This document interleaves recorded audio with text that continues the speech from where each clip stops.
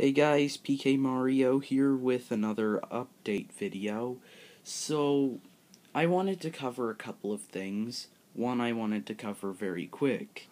So, I'm not sure if you guys know, but I've actually been doing an amiibo tournament for the uh, on Sunday, but the thing I found was that nobody was really watching the tournament and uh, also I wanted to do each part of the tournament per day, so uh, it would be sort of like a three or four day thing where it's uh, the first round on Sunday, then the winners, the winners bracket on Monday, the losers bracket on Tuesday, and then the winners and losers, and then the grand finals on Wednesday, but, well, on the sixth video, King Dedede versus Sonic, I had some trouble recording it. That was the other reason, but, uh,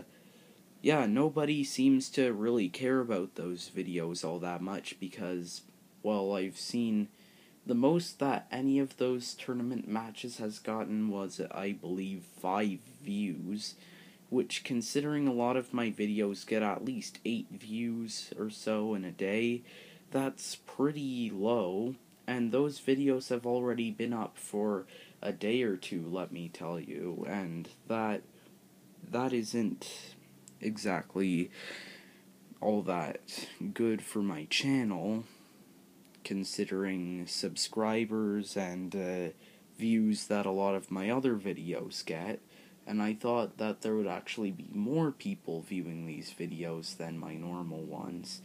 Also, I'm not doing a 70 subscriber special, but rather a 75 subscriber special, and instead of doing and instead of doing another amiibo match, I'm instead going to do a question and answer thing.